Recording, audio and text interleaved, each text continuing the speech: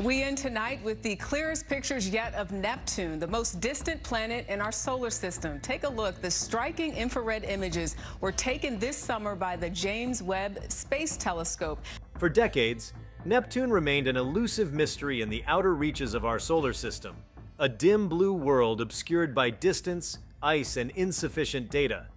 Ground-based telescopes offered mere glimpses of its turbulent atmosphere, while even the legendary Voyager 2 flyby in 1989, though historic, could only skim the surface of Neptune's secrets. Since then, astronomers have waited patiently for a tool powerful enough to penetrate the icy veils and bring clarity to this remote planet. That tool finally arrived in the form of the James Webb Space Telescope, and its first detailed observations of Neptune have upended long-standing assumptions and revealed a world more complex, dynamic, and surprising than anyone had imagined. Before we start, smash the like and subscribe buttons for more updates. When the James Webb Space Telescope turned its infrared gaze toward Neptune, what it uncovered was a planet that defied expectations in nearly every way. Gone was the familiar smooth blue disk seen in visible light images from Earthbound observatories and older space missions. In its place stood a world marked by swirling bands of icy haze, shimmering atmospheric layers, and dramatically defined storms, features invisible in previous observations. The telescope's powerful, near-infrared camera NIRCam didn't just sharpen Neptune's features, it exposed them with a clarity that seemed almost impossible given the planet's vast distance from Earth. One of the first shocks was the revelation of Neptune's ring system, which appeared more clearly than ever before. Though known since the late 20th century, Neptune's rings had remained faint and indistinct, barely perceptible even through Hubble's lenses. But with Webb's advanced sensitivity and unique wavelength range, these rings came into full radiant view, glowing like etched halos suspended in deep space. Their sharpness stunned astronomers and provided the most detailed look yet at their composition and structure, Beyond the sheer visual marvel, these images hinted at ongoing dynamical processes, interactions between ring particles, shepherd moons, and Neptune's magnetic field that had not been fully appreciated before. Even more striking was what Webb uncovered in Neptune's atmosphere. Long thought to be a fairly uniform blanket of hydrogen, helium, and methane, Neptune's atmospheric structure turned out to be layered, dynamic, and brimming with unexpected activity. Infrared imaging peeled away the upper clouds to reveal lower storm systems and massive vertical circulation patterns that span hundreds of kilometers. The discovery of these deeper bands and the way they interact with solar radiation and internal heat sources challenged existing models of Neptune's meteorology. Instead of a frigid, sluggish planet governed mostly by inertia, Neptune emerged as a place of surprising thermal and atmospheric dynamism. The temperature distribution across the planet particularly shocked researchers. Rather than a smooth gradient from equator to pole, Webb detected strange thermal anomalies, with unexpected heat signatures near the poles and even some warmth near the equator. Regions previously believed to be colder and more inert. This skewed thermal balance suggests the presence of unknown heat transfer mechanisms or even an internal energy source that has not yet been fully accounted for. It raised new questions about how heat escapes from Neptune's core, how the planet interacts with solar radiation despite its distance, and whether its magnetic field plays a more active role in thermal dynamics than previously assumed. A further surprise came from Neptune's south pole, a region where Webb revealed a peculiar brightening, an infrared glow previously undetected in such detail. While scientists had observed hints of a hot spot here in earlier missions, Webb confirmed its prominence and intricate structure. This polar region glows not just from reflected sunlight, but from internal heat escaping the atmosphere, suggesting a localized process of convective upwelling or possibly a unique interaction with the planet's magnetic field. The implications are profound. Neptune's atmosphere is not uniformly insulated, and energy may be escaping unevenly through different polar pathways, possibly tied to seasonal changes or long-term climate cycles unique to outer solar system planets. Another captivating element revealed was the abundance and behavior of high-altitude methane ice clouds. These thin, wispy clouds reflect infrared light in striking patterns, appearing as luminous streaks and arcs across the planet. Unlike the more familiar water clouds of Earth or ammonia clouds of Jupiter and Saturn, Neptune's methane clouds form in far colder, more exotic conditions. The new imagery captured their movement and clustering with unprecedented precision. Their distribution wasn't random.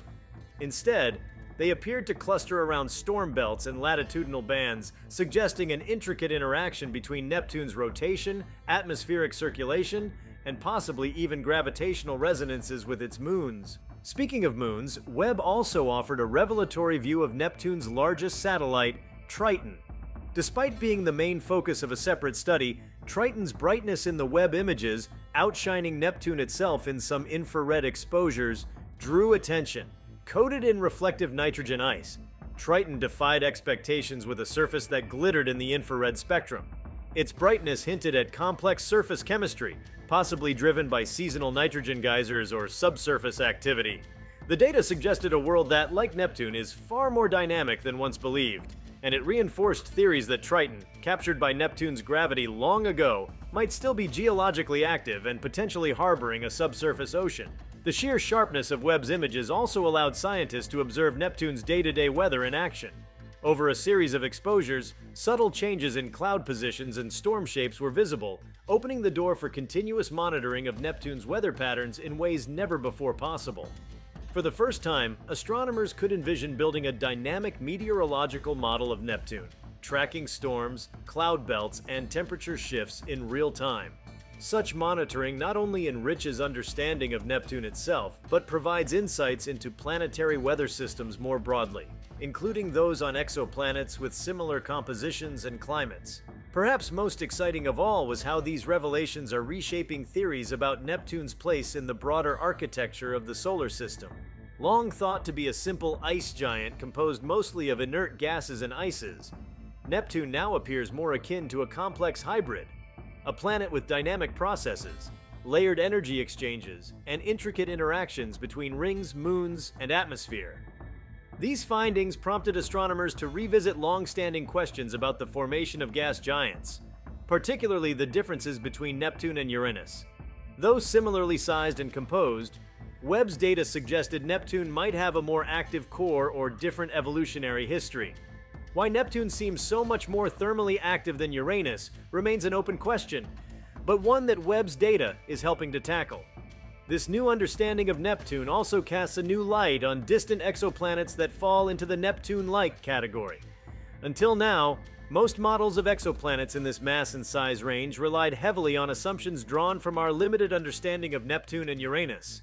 But if Neptune is more complex, more active, and more thermodynamically strange than previously believed, then so too might be the hundreds of Neptune-sized exoplanets identified in nearby star systems.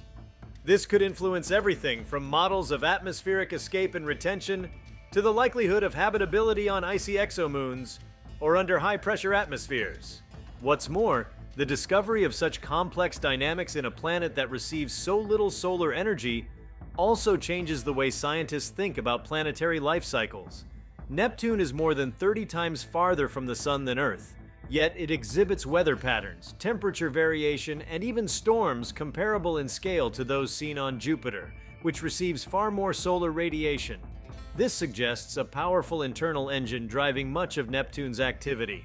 An engine that may have remained hidden without Webb's deep infrared insight.